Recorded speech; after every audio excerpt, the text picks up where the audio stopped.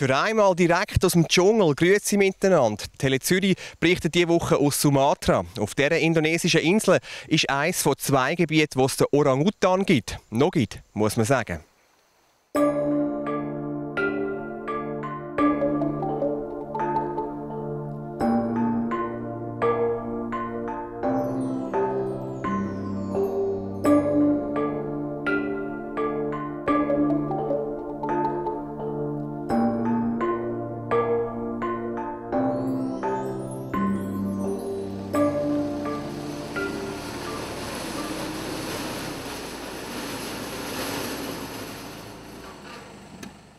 Besuch aus der Schweiz. Regina Frey ist zurück auf Sumatra, zurück in der Auffangstation für Orang-Utan, wo sie gegründet hat. Begrüßt wird Zürcherin heute gerade von zwei kleinen Jungtieren.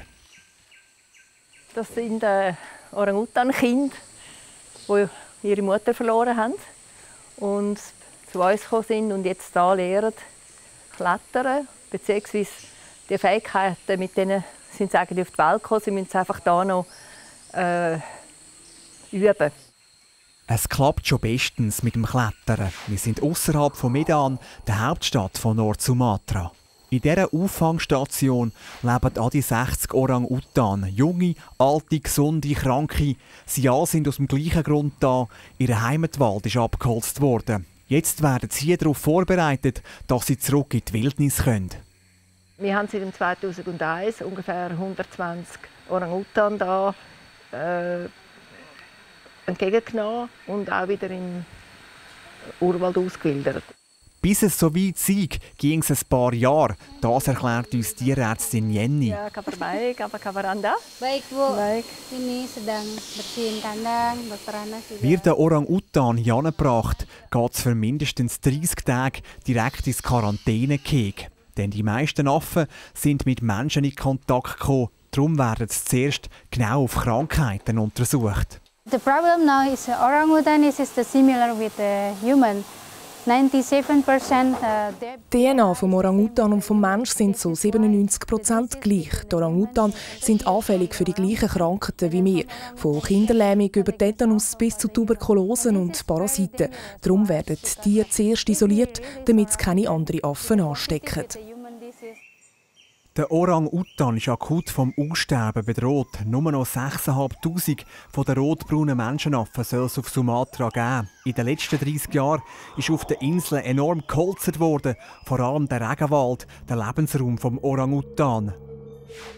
Die Muttertiere werden dabei häufig abgeschossen, die Jungen als Haustiere verkauft.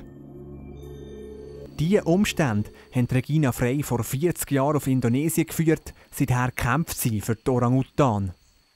Die einzigen Finde eigentlich von den Orang-Utan sind Menschen. Sie haben sonst keine natürlichen Finde im Regenwald.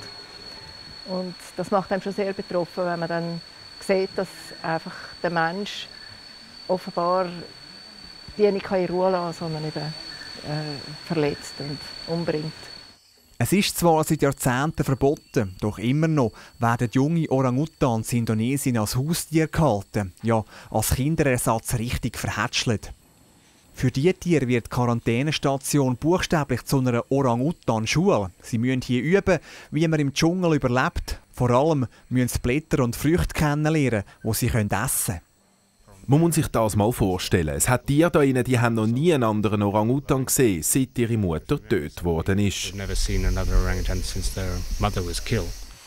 Kranke Tiere werden in der eigenen Klinik operiert und gesund gepflegt. Im Sozialisierungskrieg lernen die Affen mit Artgenossen zusammenzuleben.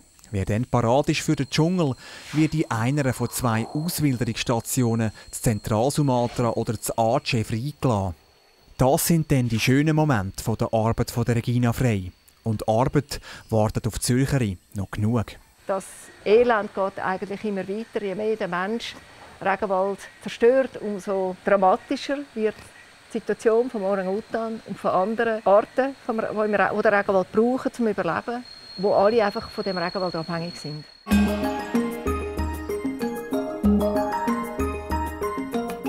Das sehen Sie morgen. Über holprige Strassen geht es auf Bukit Lawang. Hier im Regenwald suchen wir wilde Orang-Utan. Es ist wahrscheinlich der einzige Ort auf der Welt, wo man die Orang-Utan so in ihrem natürlichen Lebensraum beobachten kann.